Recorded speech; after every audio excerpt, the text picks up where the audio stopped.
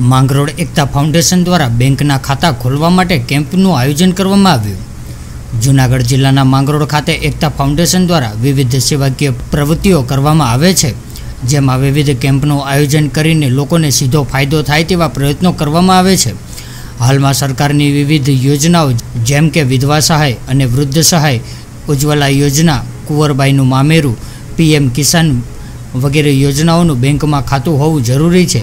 ત્યારે બેંકમાં ખાતું ખોલવામાં ભારે હાલાકીનો સામનો કરવો પડતો હોય છે, જેને લઈને એકતા ફાઉન્ડેશન દ્વારા એસબીઆઈ લીમડા ચોક શાખાના સહયોગથી ગાંચી સ્વયંસેવક સંઘ ખાતે કેમ્પનું આયોજન કરવામાં આવ્યું હતું.